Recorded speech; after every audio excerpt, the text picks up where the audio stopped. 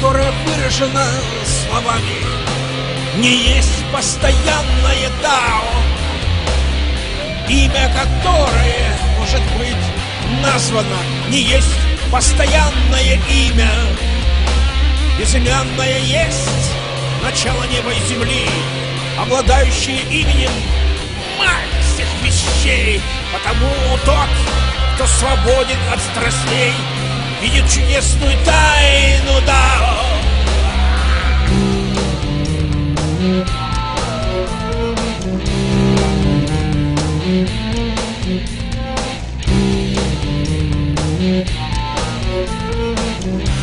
А кто имеет страсти, видит его только в конечной форме. Оба они одного и того же происхождения, разными названиями. Вместе они называются глубочайшими. Переход от одного глубочайшего к другому. Дверь ко всему чудесному.